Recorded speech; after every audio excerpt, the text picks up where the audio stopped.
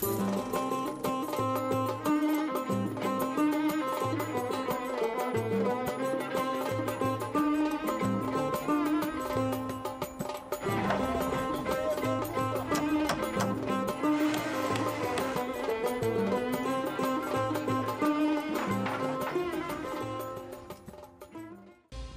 kısmen e, yaşanmış bir hikayeydi. E, 1980'li yıllarda 12 Eylül askeri darbesi olunca Adıyaman'a gitmiştim. E, orada yerel orkestrayı bir e, askeri orkestraya dönüştürdüklerini gördüm. Lejyoner elbisesi değilse de ondan geri kalmayacak absürditede bir e, uyduruk üniforma düzenlemişlerdi. Marşların böyle ajitatif, köşeli bir havası vardır. Ama e, bunların e, icra ettikleri ezgilere yörenin o Hi- Hicaz, Hüzzam etkisi bütün ağırlığıyla siniyordu. Çok ironik, aynı zamanda da çok acı verici bir manzaraydı. Bunu senaryolaştırmaya karar verdim. Beynelminel pratik olarak böyle şekillendi kafamda. Ben senaryoyu solukta okudum çünkü öyle okunan bir senaryoydu. Hiçbir şey okurken ağlamamıştım ben şimdiye kadar. Yani kitap okurken ya da senaryo okurken, bir şey okurken. ilk defa gözyaşları döküldü gözlerimden. Çok sevdim projeyi. Türkiye'ye döndüm. Ee, sonra Sırrı'yla tanıştık. Ve yol arkadaşlığımız e, böylece başladı. okudum ve e, ertesi günü dedim ki evet bu iyi bir proje. Dedim ki Sırrı ben sana bu filmi çektireceğim. Öyle veya böyle. Necati Akpınar'a ve Yılmaz Erdoğan'a projeyi söyledim. Dedim ki böyle böyle bir hikaye var. Bu size BKM'ye çok yakışacak, iyi gelecek, seveceğiniz bir proje. Ee, ilgilenirseniz sevinirim dedim. Sağ olsunlar. Ee, 48 saat içerisinde okudular ve bana dönüp dediler ki tamam biz çok etkilendik bu projeyi yapacağız. Ama sen bu projenin içinde olacaksın.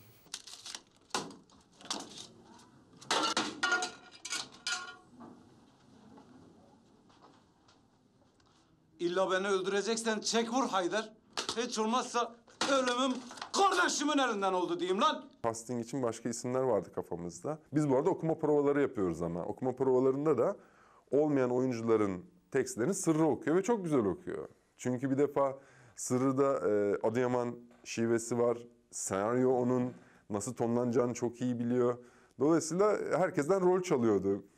Ondan sonra ya dedi dur sen Servet bir dakika olmaz mısın olur musun derken birden Sırrı'ya kaldı. Zaten zamanımız da çok azdı. Ya oynarım herhalde. Ne var ki bunda? Oyun veriyorsunuz, niye oynayamayasınız gibi bir yanılsamaya düştüm. E, fakat oyunculuk sadece oyunculara bırakılması gereken bir alan. Pavyon kültürü kadın bedeninin aşağılanmasıdır. Zaten bu düzende de Oktay'a bu projeden kadınlar iki kere m, bahsediyordum zaman zaman.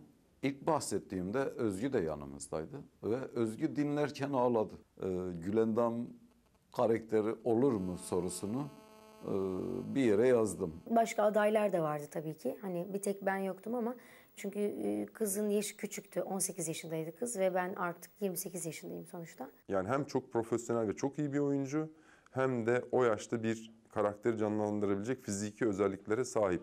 Bu ikisini birleştirince tabii ki adres Özgür. Mevlam birçok dert vermiş Beraber derman vermiş olmuyor mu? Şu tükenmez derdime Umut'ta gerçekten çok iyi bir damar var. Bir işi iyi yapmak için elinden gelen her şeyi yapıyor. Yani işte enternasyonel bağlamayla çalması gerekiyordu. Gitti. Zaten bağlamayla bir ilişkisi vardı ama geldi Sırrı'ya ben tıkı tıkı tıkı enternasyonel çaldı iki gün sonra. Ben senaryodan önce tretmanı okudum. Yaklaşık dört sayfaydı. Çok güldüm, çok eğlendim ve Haydar'ın ve Gülendam'ın o haline çok üzüldüm. Ve bunu belli etmemem gerektiğini düşündüm hani. Çünkü yönetmenler, e, senarist oradaydı. Böyle. Sette çok serttimdir. Beni yanlış anlamalarını istemediğim için bütün duygularımı bastırdım. Ama ne kadar bastırsam da yani ara ara kahkahalar atmaktan kendimi alamadım. Bir de olan bana oynattığını görürsem, duyarsam aynı fistanı sana giydirir, çarşının ortasında oynatırım seni. Yok komutanım. Ya çocuğu elliyordular, kucalıyordu. Kucalıyor.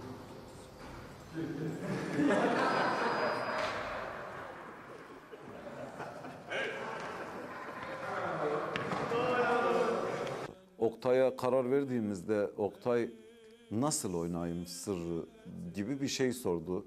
Oradaki cevap aslında Oktay'ı tercih etme gerekçemizi de açıklıyor. Ya senin binbaşı olmuş halin dedim yani. Bu harekete dikkat edin. Bu hareket en önemlisidir. Bunu yaptığım zaman hep beraber sayfa çevireceğiz. Cezmi abiyi ben oyuncu olarak çok beğeniyorum. Biz daha önce organize işlerde çalışmıştım. Orada ilk defa Canlı Yılmaz'ın yönetiminde seyrettim ben o zaman. Ee, çok beğenmiştim zaten Cezmi abiyi. Benim için bir baba olarak, o dönemleri yaşamış bir kişi olarak böyle bir rol benim beni derinden etkiledi.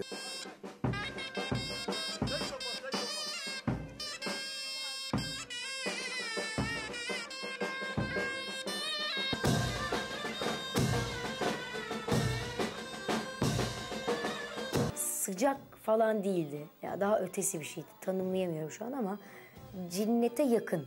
Yani en azından hani Adana ve civarında insanların neden cinnet geçirdiğini e, artık daha iyi anlayabiliyorum öyle söyleyeyim. Bolca ter, bolca nem ve sıcak. Ee, ama e, şehirle falan ilişkimiz çok iyiydi. Yani bize e, olağanüstü misafirperver davrandılar. Çok güzel geçti. E, sıcak iş tempomuzu biraz düşürdü. Ama biraz daha fazla çalışarak zamanı kapattık. Tarsus'un kebapları var. Kebaplarını yedik güzel güzel. Ondan sonra da anjiyo olduk. Prova bilerek yapmadık. Üstümüze bir şey otursun istemedik. Profesyonelmiş gibi olsun istemedik. Çünkü biz oyuncuyuz. Bize bir iki figür gösterildiği zaman biz onu hemen vücudumuza uydurabiliyoruz. Tam tersi böyle olmaması gerekiyordu Gülendam ve Haydar dansının. Çok e, amatör olması gerekiyordu. Orada onların derdi tango değil yani. On- Onların ilk defa ve tek yakınlıkları aslında.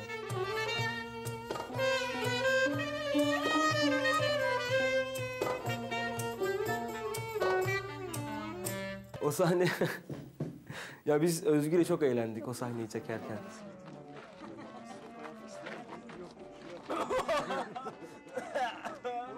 Filmin sonunda bir konseyin geldiği sahne var. Ee, bütün olayların koptuğu sahne. Ben en az bir bin kişi olsun istemiştim. Ee, iki gün süreyle o meydanın kapatılması lazım. Yaklaşık 1500 kişilik bir figürasyon. Yani o 1500 kişiye su dağıtsanız bile problemdir ki onlar orada iki öğün yemek dağıtıldı, işte dinlenmeleri sağlandı, çayları, kahveleri sağlandı. Oradaki yerel gazeteler ilan verdik. İşte tanıdığımız dükkanların kapılarına afişler yapıştırdık. Telefonlar şunlar bunlar. Bu onun kuyruğu. Yani bin kişi işte gelip kaydoluyor. Ondan sonra telefonları şunları bunları alınıyor. Böyle bir dinleme efekti orada keseceğiz. Sen Not ama- almak yok. Yok, not almak yok.